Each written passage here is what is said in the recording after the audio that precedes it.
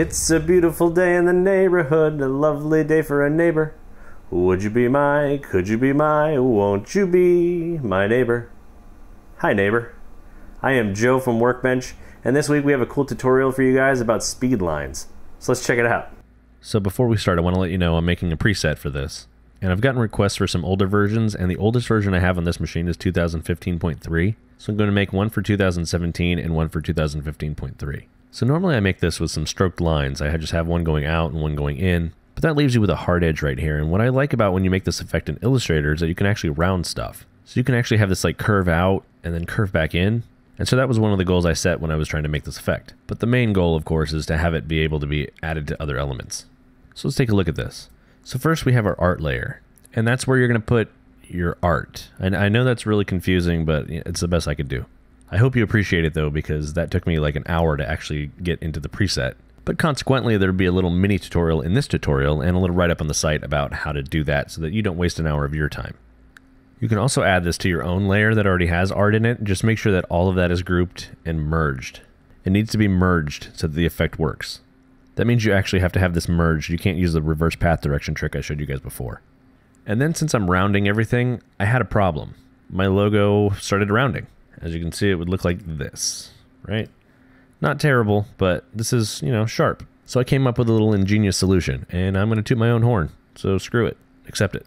So what I did was I added around corners, and basically what I did was pre-round everything. I rounded it by like one pixel, which obviously doesn't really do much at all, but it makes sure that this is already technically rounded, so it can't be rounded again. So after I finished recording this tutorial, I added a couple of things, so I'm going to put that in here real quick. So you can actually click to add this right to your existing art. It actually has a merge and all that stuff built in.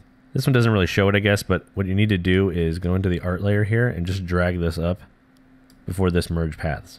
If you don't have a merge in there, you can just drag both. That'll just make sure that these corners don't curve. As you can see, if I take this out and put it back into here, it'll curve again. So just drag that up, put it in there. If you don't have this merge paths, you drag the one that's here. You might have to change its setting, but it's set as is, and you can either leave this in or just delete it. If you delete it, obviously it changes the random a little bit. I've also added a flip checkbox, so if you want to put it on the other side, you can. You just have to change your X position. Move it over there. If you need to, you got to change your cutout length.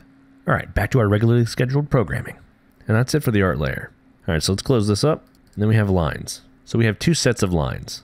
The ones that stick out and the ones that cut out. So you can see here, lines one, lines two. These are again merged that's important, don't delete these merges. So part of making this effect repeatable was that I wanted all of this stuff to have sliders and stuff that can modify it. So you can move the X position, you can move the Y position. So you can see if you get too close to the corner that's already rounded, it's not going to round anymore. So just be aware of that. That's not my limitation, it's just After Effects. You can change how random the length is. You can change the random seed. You can change how much it wiggles. You can change the cutout length.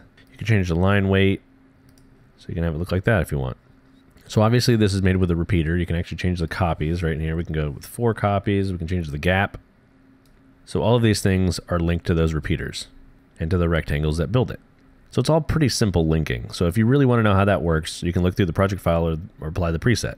But I'm just going to explain a little bit more about how things work. So the line weight actually controls a lot of stuff. If you change its size back to like 20, put this gap a little bit bigger and move this Y up so obviously the line weight controls the weight of the line. It also determines how far down the next set of the cutout goes because the cutout is really just the continuation of this line. And it also determines the rounding. So if we drop this down to like two copies, make the gap a little bit bigger, move the Y down because why not? And then we make this line weight bigger. You can see that it rounds a lot more. It's going to get a little weird in here because we're not very far in this gap. Uh, if we go X a little bit over. So I'd keep this to a sensible line weight for your subject. So if you look at this, you can see there's kind of a central point where these things cross. And that's kind of the ideal spot where you want to have this on your edge. All of the lines that stick out really kind of start from here and go that way, and they're randomly scaled with the wiggle paths. And then all of the cutout lines start over here. They randomly scale this way according to the wiggle paths. The random length controls that for both of the wiggles. The wiggle speed is the same for both, and the random seed, I believe, is actually the same for both as well. So the only other thing that I haven't really explained how it works is this offset, and that basically makes this at an angle. So you can't really see it easily, but now these go this way. You can change it the other way. They can go the other direction. So that's if you have like an angled surface, like an A or something like that, and you wanted to put this on there, it would still work. And obviously you can see if you move this into weird, funky ways, you can get it to go through the object. Which if you want to animate this to do that, go right ahead. It's a little weird, but hey, you do you. So I'm set this offset back to zero. Move this X position back over. And that's that. So the next thing is we have a loop that I made for the GIF that you guys might have seen. And that basically turns the wiggles to zero. And you take the temporal phase and spatial phase and you animate those until you get something that looks kind of good. And that'll allow you to actually loop these things if you need that. I'll leave this in here, so if you guys want to see how that works, you can check it out. All right, so let me show you guys real quick how to do the preset. So I wanted to name these because, you know, that makes it actually easy to use it. So what I found is that you need to select your contents of your shape, the actual main subgroups on your shape, and effects and things like merge paths and whatever that are just directly under the contents, because basically everything inside these things will be saved if you select the main one. And then you select your effects, and that's it. Before, I don't know why, but I had to actually click each one of these things, but not the slider, just the title, and it would save it. But I guess that depends on how you're saving all your stuff. Maybe I finally figured it out, I don't know. But hopefully this information helps you. All right, so let's move on. Let's show you how to actually do this thing. I drag this battery down here, right click, create shapes from vector layer, delete this guy, click on this again, hit G from again tool, click on one of these points, hold command, select all of them, hit command T, make this big, hit enter. So just to make this a little easier on myself, I'm going to get rid of this centerpiece. So I'm going to go in here, and this has like a bunch of different groups. Well, I guess not a bunch, but a couple, you know, whatever. I'm going to click this, get rid of that. It's the wrong one. I'm going to click this, get rid of that. I'm going to open this up. There's already a merge here. I'm actually going to move this into here, get rid of this group. Uh, then we're going to add a little rounding here, round corners, into this. Make sure it's in here. We're going to open that up, set it to 1. Everything's already rounded, so it probably wouldn't matter, but if I wanted to keep this straight or whatever, you don't want to have a client be like, hey, my logo is a little, uh, little round there.